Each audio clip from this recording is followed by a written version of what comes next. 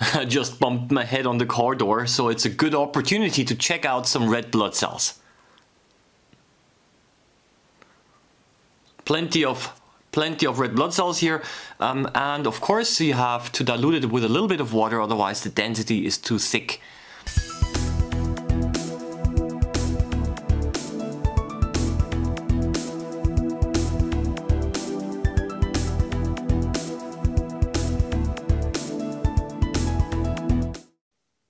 And for making a wet mount, I'm going to add a little bit of water simply to dilute the cells a little bit. I do not want uh, to touch the blood with my tweezers.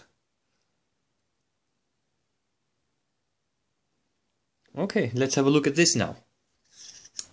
And then everything goes uh, under the microscope, of course. And now this is what you see when you use the four times magnifying objective. Uh, the cells are so small uh, that you actually only see very small dots. So of course we have to switch to a higher magnification. This is now the uh, the 10 times magnifying objective and now we can already see for the first time uh, small little circles and these are the individual red blood cells.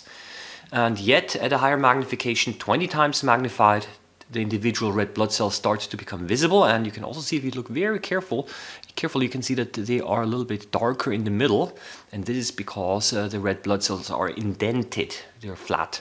Yes yet at a higher magnification this is now using the 40x um, uh, objective.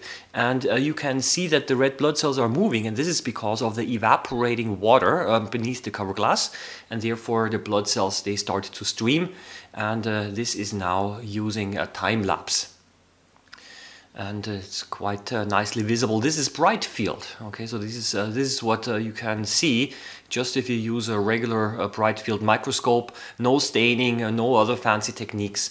So any uh, microscope with a 40 times magnifying objective should be able to see this.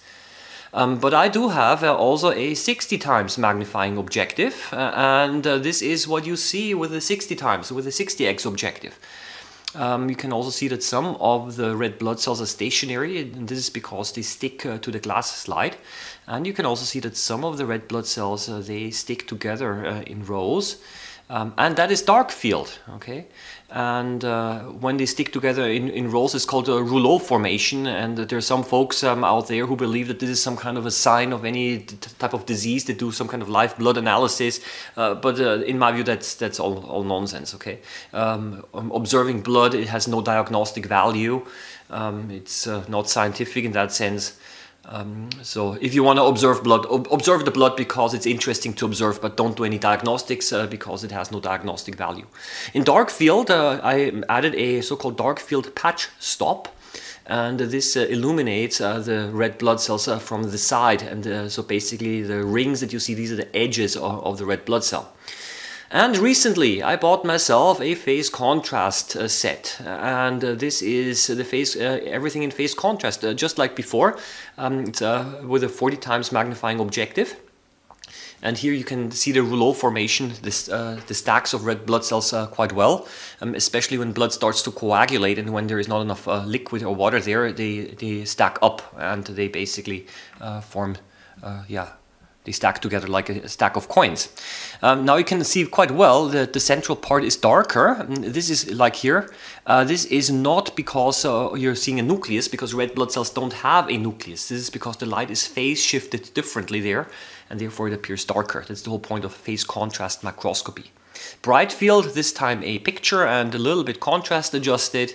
looks quite, uh, quite nice. Um, the next one is a photograph of dark field, also contrast adjusted. And then of course uh, phase contrast, uh, a picture um, which falls, which are also uh, contrast adjusted. And when I say contrast adjusted, I mean uh, that I used Photoshop uh, to uh, increase the contrast a little bit, like this one here in phase contrast. Okay, so this is it. So we had a look at uh, red blood cells in bright field, also in dark field and uh, also in phase contrast. So the little accident uh, that I encountered did have a positive end in that sense. Um, I wish you a, a nice day, um, all the best, happy microbe hunting and uh, see you again next time. Bye bye.